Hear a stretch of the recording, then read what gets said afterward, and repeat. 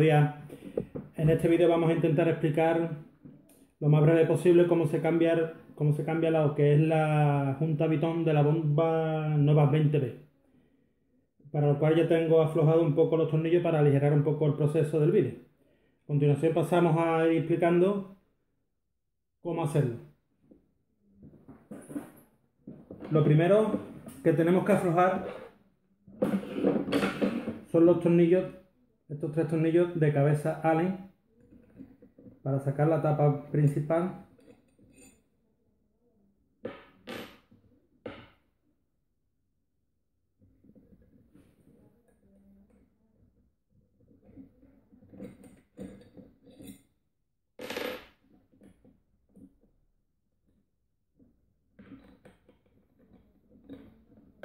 Con una llave Allen la aflojamos y sacamos la, tapa principal. La ponemos aquí a un ladito. A continuación tenemos el, lo que es el ventilador del motor, las aspas del motor, con lo que impulsa el líquido, en este caso el agua o la cerveza. Ahora el siguiente paso será quitarle la caperuza de atrás roja, la protectora del, del ventilador de refrigeración. Esto se hace un poco de palanca y va saliendo. Vale. Ponemos aquí al ladito.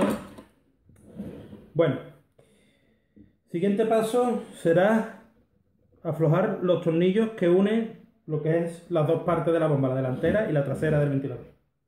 Con una llave fija del número 8, aflojamos, yo ya los tengo flojos, para aligerar un poco el proceso. Aflojamos lo que es los tornillos.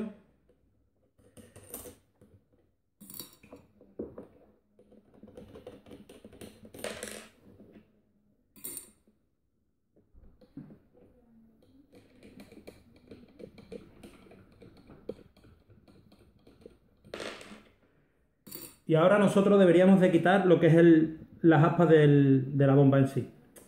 Esto no suele estar normalmente muy duro. Yo ya lo tengo un poco suelto porque he estado trasteando la bomba para adelantar un poco.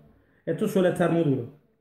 Yo normalmente lo que suelo hacer es, una vez que aflojo los tornillos estos, intento de mover, saco los espárragos, bien, intento de mover todo esto hasta que suelta un poco y aquí, con un destornillador de pala amplio, lo voy metiendo, voy haciendo palanca, palanca, palanca y normalmente suele salir lo que es el aspa de atrás de la bomba. Se suele, al hacer palanca aquí,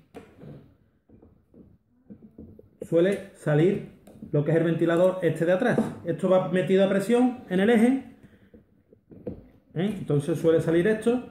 Está un poco duro sigue haciendo palanca hasta que lo sacamos completamente. Una vez que esto está fuera,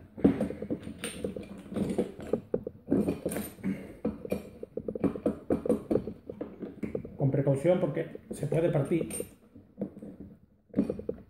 Ya, una vez que esto fuera, ya el eje entero, como veis, corre y se puede sacar la cabeza.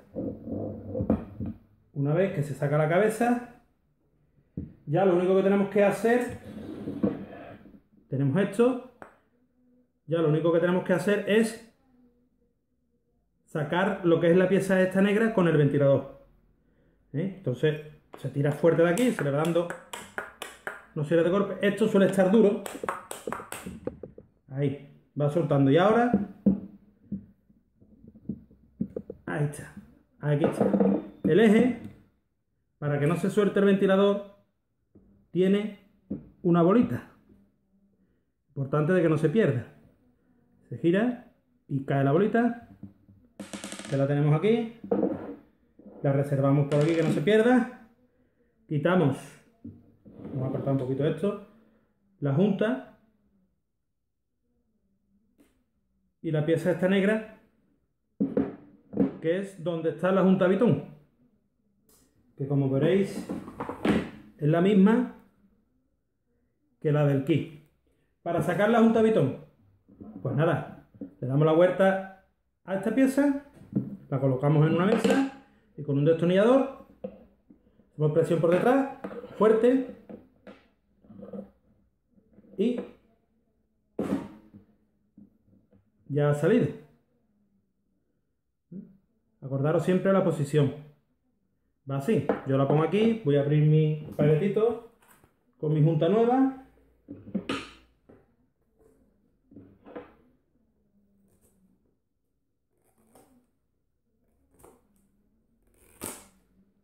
Ahí está. Y como vemos, la colocamos. La introducimos bien, que quede perfecta. Si vemos que está muy dura, pues con la misma llave que tiene forma redondeada para no dañarla, la intentamos, la intentamos poner lo mejor que podamos. se me ha ido. De todas maneras, esto hay que ponerlo.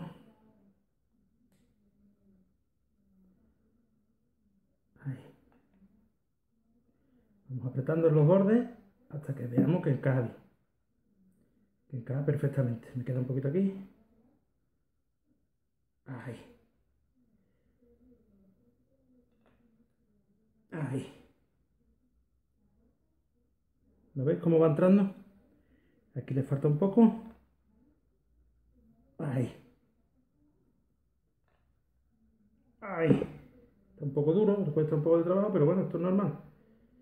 ¿Eh? Vemos que está, aquí nos queda otro poquito. Lo voy a apoyar la mesa para que me sea más fácil.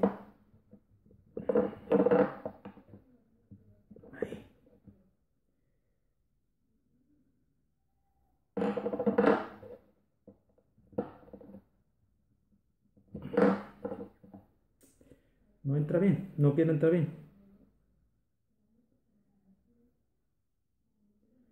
Está bastante, bastante duro. Vamos a utilizar el destornillador.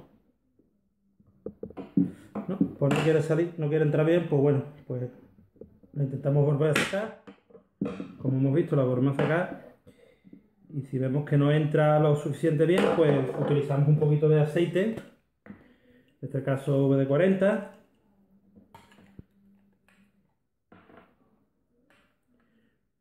le echamos un poquito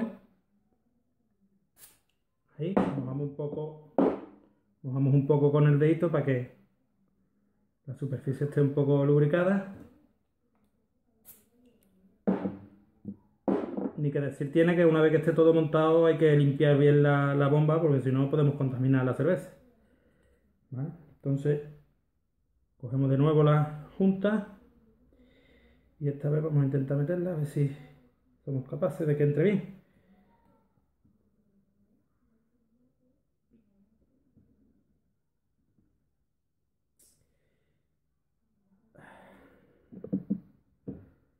Ahora parece que sí. Ahora parece que sí. Exacto. Ahora se ve que ha entrado perfecto. Lo seleccionamos un poquito con el destornillador para que veamos que ha entrado bien. Vale, esto se ve que está perfecto. Muy bien reservamos. Si ahora queremos, por ejemplo,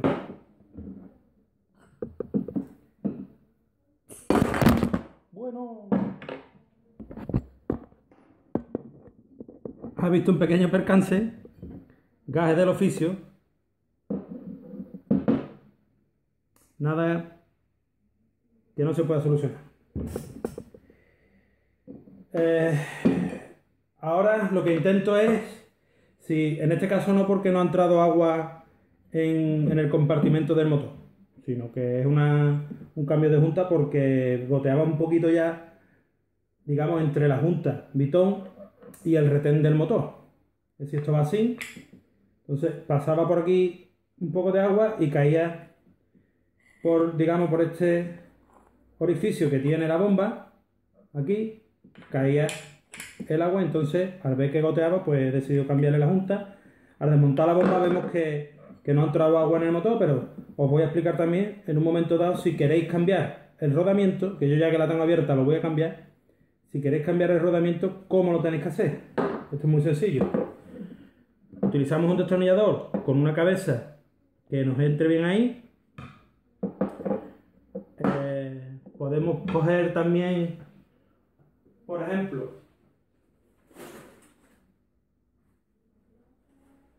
un pequeño papel para no dañar el retender de lo que es el motor. Colocamos el destornillador y con un martillo o algo que podamos golpear, pues le damos unos golpes para sacarlo. intentaré darle sin que se caiga la cámara.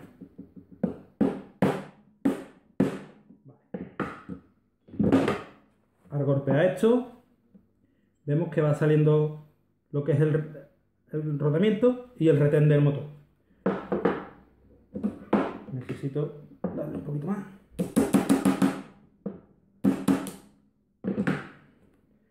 Intentar darle con cuidado para no dañar el retén del motor.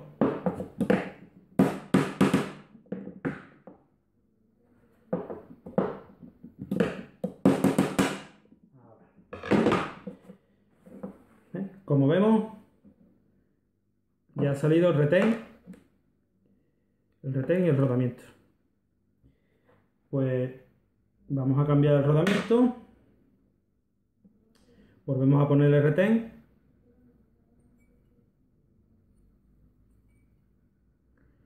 En su ubicación, ahí. Esto tiene un alojamiento que te indica con el escaloncito hasta donde llega. Y ahora vamos a colocar el, rodamiento nuevo. Eh, podemos también, antes de meter rodamiento, aceitar un poquito donde va incluso al mismo rodamiento, echarle un poquito de aceite para que esté todo bien engrasadito. Perfecto. Mm, está todo en aceite y ahora para introducirlo lo volvemos a poner en su sitio y cogemos el rodamiento antiguo, lo ponemos encima cogemos el mismo destornillador con el que lo hemos sacado, ponemos de arriba y golpeamos hasta que entre en su alojamiento. ¿Por qué no golpeo directamente el rodamiento? Porque al golpear el rodamiento podemos hacerle daño. Entonces utilizo el rodamiento viejo para golpear sobre el nuevo. Así golpeamos en la misma base y no dañamos el rodamiento. Muy bien, ya está hecho. Perfecto. Bueno, pues ahora vamos a volver a montarlo. Tenemos el rodamiento, tenemos todo. Si queremos cambiar rodamiento trasero, pues sin problema, rodamiento trasero, aquí, metido y va alojado. Para que lo veáis. A desmontar esto también. El rodamiento trasero va alojado aquí. En este bloque. Al sacar el eje ha salido. Casi cuando he tirado la cámara. El rodamiento trasero viene aquí metido. Que lo vamos a poner también. Puesto que se ha salido no sé por qué entonces cogemos rodamiento antiguo y lo vamos a volver a meter. Este, este entra más suavecito.